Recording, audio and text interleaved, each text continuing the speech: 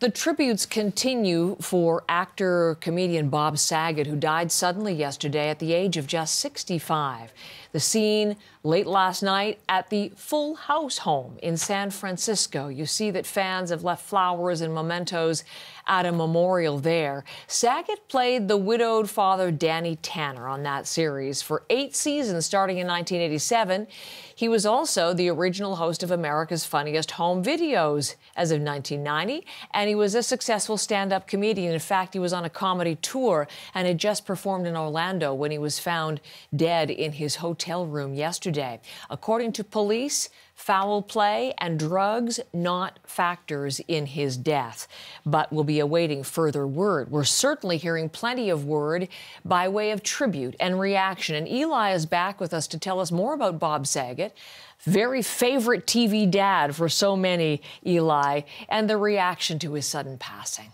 That's right, Heather. I mean, anytime you have a show like Full House, which was on air for eight seasons, and he played such an amiable TV father, this guy raising this group of kids, I think a lot of people grew up feeling they had a connection to Bob Saget and Danny Tanner, the character he played. And then he went on, as you said, to host America's Funniest Home Video, and then very different kind of personality if you caught him on stage as a stand up up comic where he would actually be quite raunchy, and I think he enjoyed um, reminding people there were other sides to his personality. But you know what really has come out in the reaction, just besides the shock and surprise. I mean, as you mentioned, this is a tweet that he shared just over the weekend. He was excited to be back on the road. So this came out of nowhere. But what everybody who knew Bob Saget talked about is that, yes, his comedy could be a little edgy, but he was just a kind,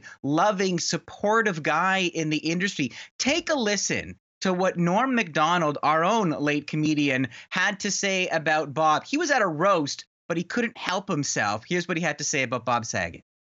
In all seriousness, Bob was the first comedian that I ever saw perform uh, when I was a boy, live, and uh, I loved him.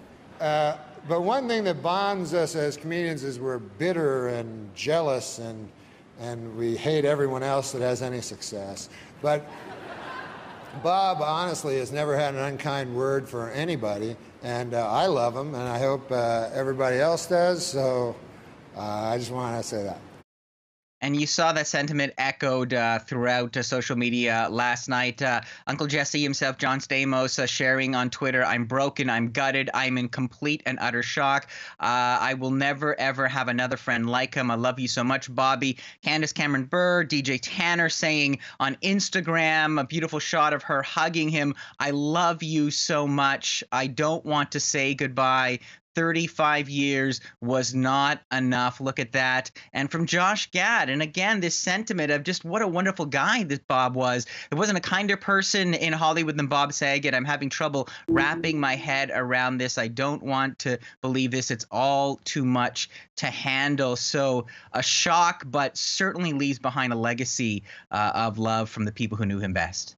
Lot of loss in 2022 already, Eli. Oh my goodness. And we'll continue to follow the reaction to Bob Saget's death. Thank you for that, Eli, from Toronto this morning.